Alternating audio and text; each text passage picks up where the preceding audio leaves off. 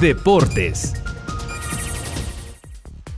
¿Qué tal? Buenas tardes. Les comento que ya iniciaron las finales de conferencia de la NBA. El Kaiser Rafael Márquez cerca de alcanzar un récord que pocos tienen. De esto y más en nuestras breves deportivas.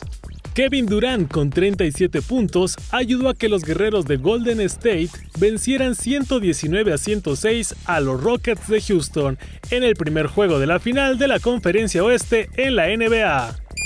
Rafa Márquez está cerca de jugar su quinto mundial con la selección mexicana y con ello de unirse al selecto grupo de futbolistas que presumen minutos en la cancha de una Copa del Mundo, así como Antonio Carvajal y Lothar Mateus.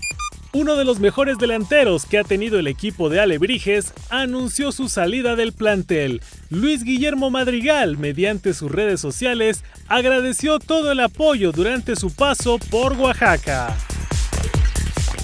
Y en información del béisbol, los guerreros de Oaxaca inician serie esta noche como visitantes ante los Diablos Rojos del México.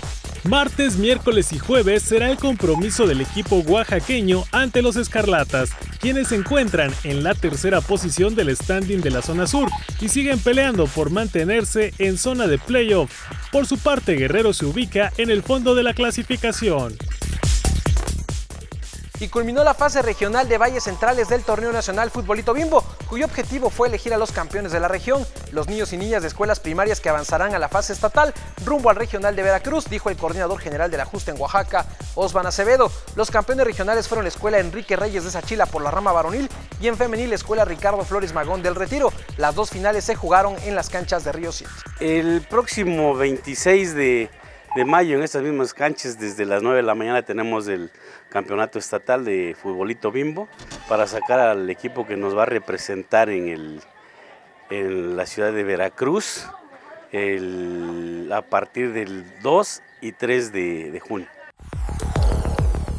Y de bueno excelente el balance de los deportistas de la UAPJO que asistieron al Nacional de Universidad. Obtuvieron dos medallas de bronce en judo y una de plata en lucha femenil, además de los equipos de soccer femenil y softball que destacaron, dijo el director de Cultura Física y Deporte de la UAPJO, Gerardo Meléndez Matías. El día de hoy tenemos los datos que se ubica en el lugar 5, abajo del primer lugar que fue la Universidad de Sinaloa, segundo Sonora, tercer lugar la Universidad de Nuevo León y cuarto lugar la Universidad de Chihuahua, ¿no?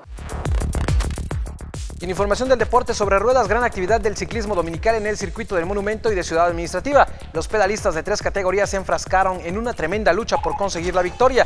En la categoría F1, Felipe Cuevas fue tercero, Emanuel Taboada el segundo y el campeón fue Enrique Salinas. En la F2, en tercer lugar quedó José Luis Santiago, en segundo Jorge Luis Echaide y campeón Darío Martínez. En la F3, Vanessa Ángeles se metió a la tercera posición, el segundo fue Daniel Hernández y el ganador José Manuel Zárate.